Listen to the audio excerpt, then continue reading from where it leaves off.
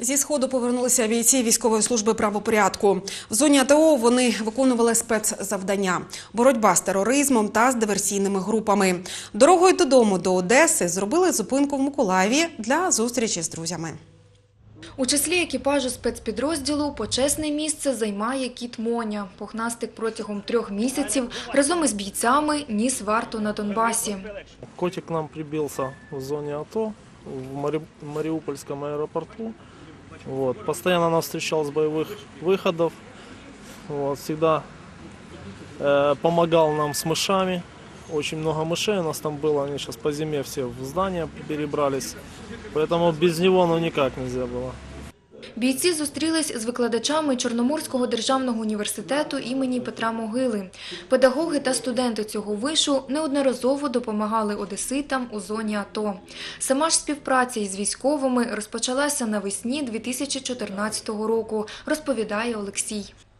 пропускний пункт перетину е, так званого кордону з Кримом е, Каланчак.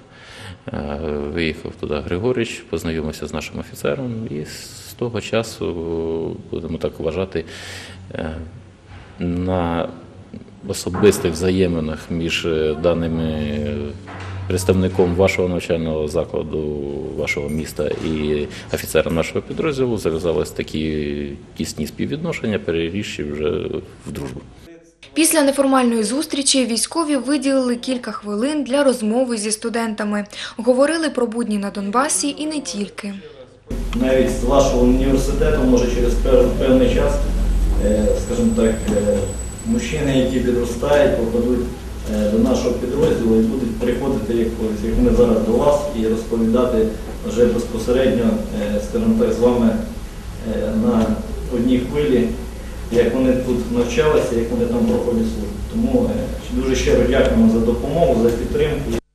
Офіцери довго затримуватися в Миколаєві не збиралися, адже кожного з них вдома чекали сім'ї, в тому числі і на смугастика Моню.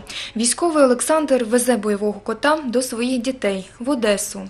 Від сьогодні чотирилапий змінить військову службу на цивільне життя.